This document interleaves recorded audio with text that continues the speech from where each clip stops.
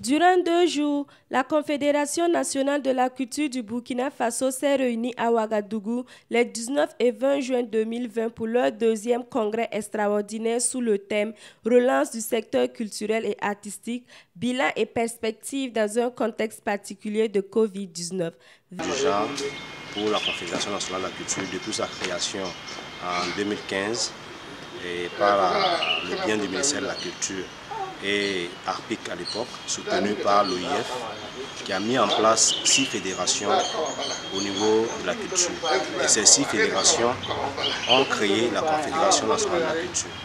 Les participants de ce congrès ont débattu sur trois principaux points afin de trouver un consensus. Il s'agit de la question de la protection des œuvres artistiques pendant et après la crise sanitaire, le financement et la relance post-crise sanitaire et l'apport des organisateurs non étatiques de la culture dans la mise en œuvre des stratégies et programmes du secteur culturel et artistique. C'est de revoir nos textes fondateurs voilà, puisque ces textes-là ne nous permettaient pas un certain nombre de choses.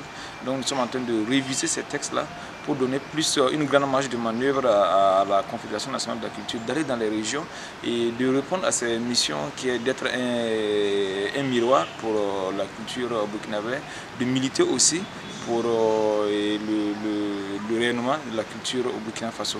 Et surtout que les acteurs culturels puissent être encore plus professionnels et pouvoir vivre vraiment de leurs différents métiers. Moussa Sanou, représentant des arts nationaux des hauts-bassins, repart avec une grande satisfaction. Il dit trouver ce congrès très enrichissant avec un débat ouvert à tous les participants. Une très grande joie, une très grande satisfaction, surtout de la façon dont les travaux se sont déroulés.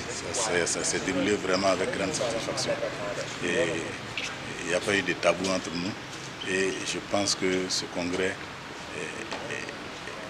est, est la bienvenue et fera grandir la Confédération nationale de la culture partant de là des structures membres.